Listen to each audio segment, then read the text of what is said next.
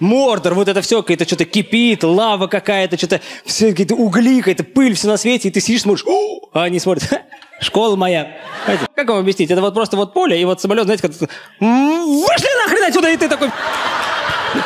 Где-то должна быть еще страница, нет? Немножко поподробнее есть вариантик? Жили-были, конец! С чего вы взяли вообще? Как, в какой момент вы решили, что одеяло э, на кровати в отеле должно быть натянуто навсегда?